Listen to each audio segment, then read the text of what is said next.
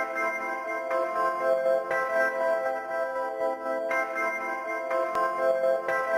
பாகுபலி பாகம் ஒன்று மற்றும் இரண்டில் இடம்பெற்ற கதாபாத்திரங்களின் நெற்றியில் இருக்கும் திலகம் மற்றும் படத்தில் இடம்பெற்ற லட்சணைகள் போன்றவற்றின் பின்னணியில் இருக்கும் ரகசிய அர்த்தங்கள் பற்றி உங்களுக்கு தெரியுமா? பின்கலத்தேவனின் திரிசூலம். திரிசூலம் இந்திய புராணங்களில் அதிகம் காணப்படும் குறியீடு. இந்திய வேதங்கள் இதன் குணங்கள் என சத்விகா ராஜசிகா மற்றும் தமசிகா என கூறுகின்றனர். இதில் தமசிகா என்பதன் பொருள் சமநிலையின்மை குழப்பம் பதட்டம் என கூறப்படுகின்றது. இது பின்கலத்தேவனுக்கு சரியாக பொருந்தும். சிவகாமி. சிவகாமியின் நெற்றியில் முழு நிலவு இருக்கும்.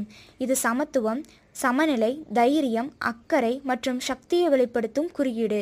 இவை இவரது கதாபாத்திரத்திற்கு சரியாக பொருந்தும். அமரேந்திர பாகுபலி. இவரது நெற்றியில் பாதி நிலவு குறியீடு இருக்கும். இது பல மதங்களில் பின்பற்றப்படும் காணப்படும் குறியீடாக இருந்து வருகிறது.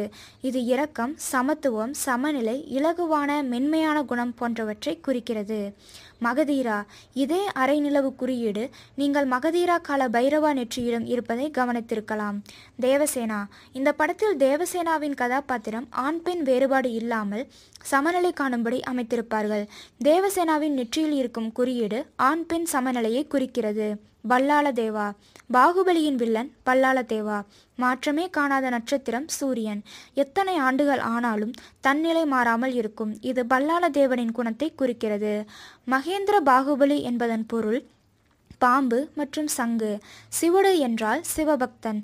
சிவனுக்கு உரிய குறியீடுகள் பாம்பும் சங்கும். மேலும் கதை எழுதும்போது சிவடு பாத்திரத்திற்கு நந்தி என பெயர் வைக்கலாம் எனவும் யோசித்துள்ளனர் என்பது குறிப்பிடத்தக்கது. கட்டப்பா. மகிழ்மதி சாம்ராஜ்யத்திற்கு விசுவாசமான அடிமை கட்டப்பா. சிம்மாசனத்தில் இருப்பவரின் கட்டளைகளை நிறைவேற்றுவதே இவரது வேலை. அவரது நெற்றியில் இருக்கும் குறியீடு விசுவாசம் மற்றும் உதவியற்ற நிலையை குறிக்கிறது. குந்தால அரசன். குந்தால குழுவின் தலைவர் நெற்றியில் கருப்பு சின்னம் இருக்கும். இது இழப்பதற்கு எதுவும் இல்லை மற்றும் இழந்ததை மீட்பதற்கான போராட்டத்தை குறிக்கிறது. அவந்திகா தன்னைத்தானே தேவசேனாவை காக்கும் மீட்கும் கருவியாக தயார்படுத்திக் கொள்ளும் அவந்திகாவின் குணத்தை குறிக்கிறது இந்த வேல்கம்பு குறியீடு. பத்ரா காலை அதிகாரம் ஆக்ரோஷம் மற்றும் ஆதிக்கம் போன்ற குணங்களை வெளிப்படுத்துகிறது. இது பிடிவாதத்தையும் வெளிப்படுத்தும் குறியீடாகும்.